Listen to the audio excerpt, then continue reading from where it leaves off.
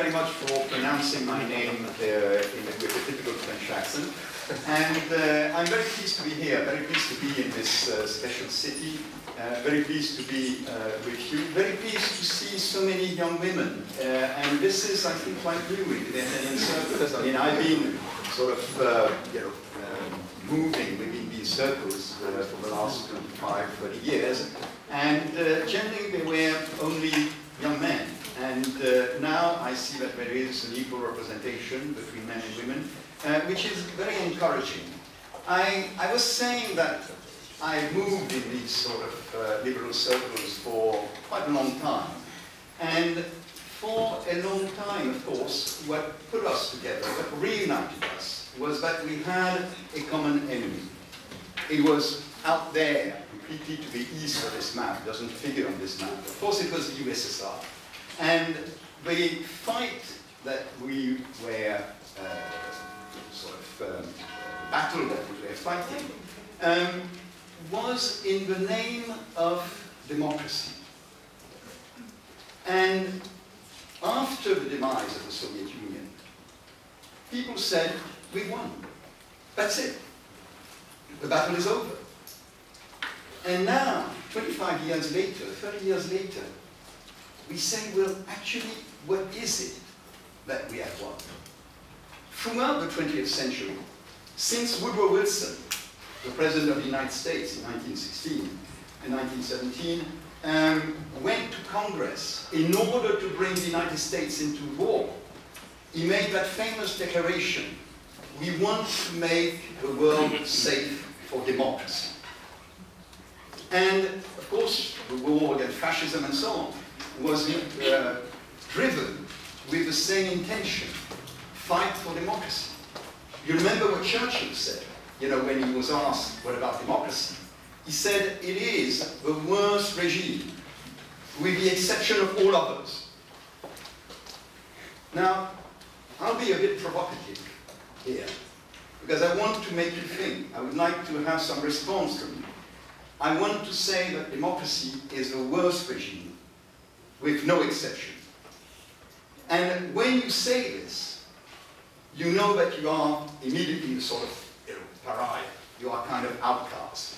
People who say this are no longer invited to forum, they never appear on television, they don't publish in the right sort of journals or in the right sort of media. And if they are a state, a non-democratic state, then of course, that's an outlaw amongst nations. And I think it is because we have a misconception of democracy. Because there are two understandings of democracy, and we confuse them. One understanding, one definition of democracy, is simply a way to appoint the people who are going to rule over you. That's what democracy originally was about. In that sense, democracy is opposed to hereditary monarchy or aristocracy.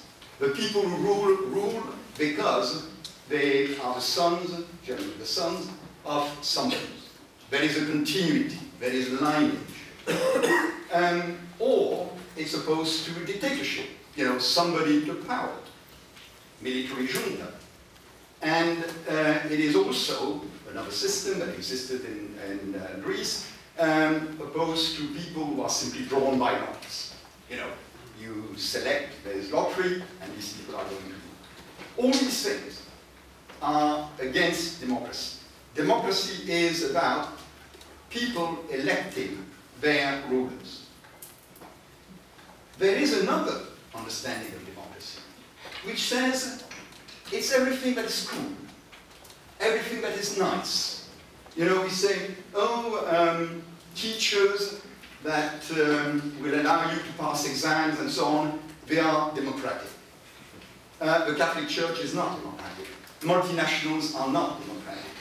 Um, there is that sort of distinction between what is nice, democratic, and what is harsh, what is painful, what is violent, anti-democratic. Um, so of course, if you go for the second definition, then everyone wants that. We want a gentle society. So we want to be on the democratic side. But let's look at what are the problems with that definition. Let's look at why it is that having fought for democracy, having won, when now you know all these countries here in Europe are democracies, why do we find someone like Putin? Why do we find that we don't have a life that my generation aspired to? My generation in the 70s, when we said we are fighting for democracy because we want a larger life. We don't want the repetition of the same. We don't want the border. We are bigger than, you know, that sort of little littleness of life. We want something that is exciting. And we have democracy and we don't have that excitement. We are here because we understand that there is something more that democracy has not brought us. So why is it? Well, if we go back to where we were in the 19th century, we see that democracy arrived in the world at the same time as industrialization. And, you know, correlation is not causation, of course. But think about this. What an industrial process says is that we can make a lot of goods provided they are all the same. We can manufacture resemblance, and that is cheap. This can be made millions and millions and millions of times, exactly the same one. Now, when people say we need a way to govern, and it, we no longer want, you know, that was the Enlightenment, we no longer want people to govern simply because they are the son of someone. We no longer want people to govern because they say that they are anointed by God, that they are ruling in the name of the Bible, the Quran, or whatever. We want people who are anointed because the people are sovereign. In other words, it is us that will decide who is ruling over us. The people are sovereign. The general will of the people will be expressed in the rulers. But how do you quantify the general will? How do I know what you all want? so, going by the process of industrialization, well, what we will do is that we will set very simple rules, majority. We will set a very simple product that everyone can follow everyone can produce. So if there is a referendum, it will be a yes or no. Manufacturing, yes or no. Manufacturing a list in an election, and a candidate would come and we'll give you a program. It's a bit like, you know, the typical sort of metaphor, is to say you have a caddy full of goods that are from the supermarket. And the other guy has another caddy. And the other lady there, she has another caddy. And you get to choose one of these caddies. Simple. The problem is that in the caddy, there are things that you want, but there are things that you don't want. But that's what you do when you vote for a list of, you know, a program of a political party. There are things in the political party program that you like, and others that you don't like. But you have to get everything. You cannot pick and choose. So the rulers will tell you what it is that you are going to get once you have elected them. So every vote counts, but a bit like square meters. You add the square meters, but some of the square meters represent triangles, others circles, others squares, and in the end, people say, well, that's the will of the people. Some people are better informed. Some people know absolutely nothing of what they are voting for. Some people have an interest in voting for this, this or that candidate, or for yes or no. Other people don't care. Other people should not care. For instance, if there is a referendum, I lived a long time in Switzerland, and you know, in Switzerland there are always referendums. And for a referendum, for instance, on school reforms, my children are grown up. Why do I vote on school reforms? I don't have any children. And if I vote, my vote doesn't count more than, for instance, a mother who has three kids at school and for whom you know, uh, school reform is really important. But, of course, that was the idea. And that was the idea that came in Athens, you know, the early democracy. Because in Athens, the only people who voted were male, citizens, and probably no, long, no more than, you know, a few thousand. When Rousseau, the modern thinker of democracy in Switzerland, you know, what he had in mind was a very, was a very small community, the Landsgemeinde. You know, people would come to the sort of big sort of square, town square, and they would vote. But of course they were all peasants, they were all farmers, they, were, they had the same life. They lived in that little valley, and their problems were all the same. But we are, today, in large countries, millions and millions of people, with different backgrounds, different jobs, different views of life, different religion. So how do you put all this into a general will? That is, I think, a big problem. In other words, democracy doesn't have an anthropology. It doesn't treat us as individuals with our aspirations, with our dreams, with our interests. But it's a situation where, at the moment of casting our vote, we are treated like witches, exactly the same, coming out from the same factory. Now, the other problem, of course, with democracy, is that it is not a way of limiting power. It is a way of saying who will exercise power. That is the true definition of democracy. And then whoever exercises power has unlimited power. There is nothing in the ideology of democracy that prevents the majority from introducing torture in order to get confession from suspects, from confiscating property of any minority, especially the rich, that's a minority that they are confiscating property from, uh, of imposing a language, a religion, on a minority community.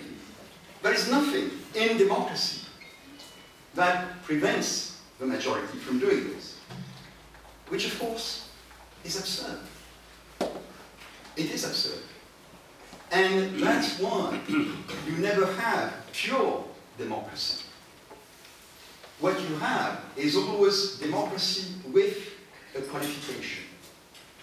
For instance, people's democracy, where the majority can do anything except going against the teachings of Marx, Lenin, socialism, whatever. Islamic democracy, where the majority can do anything except going against the teachings of the Quran, the Hadith, and so on. Or liberal democracy, where the majority can do anything except going against certain human rights. But then, what is important is not democracy, it is the objective. What matters is not that the people can exercise power through its delegate.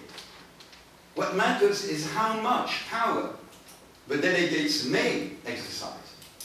And if they have little power, if they have restricted power, then who cares who is not elected?